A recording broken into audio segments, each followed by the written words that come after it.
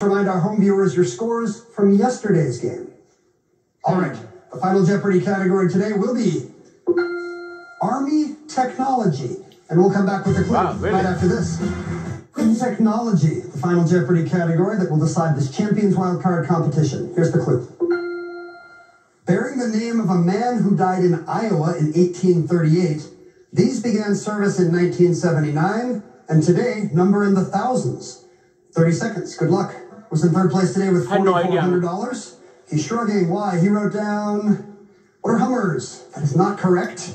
he wagered everything. That'll drop him down to zero. But when we add the 14,800 he had for coming up with Adelaide yesterday, that makes 14,800, if my math is not mistaken. Hmm. Javaria Zahir had 11,800 today. Her response?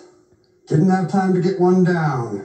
She bet nothing at all. 11,800 today, and yesterday's 20,000, total 31,800. Michael Minkus had the lead today with 13. Was it cheap? Maybe? What was his response? What are Abrams tanks? No, it's not a tank, it's a helicopter. What are Black Hawks? Oh, you wagered okay. 10,401, dropping you down to 27.99. You didn't have anything yesterday. That means Javaria Zahir is our Champions Wild Card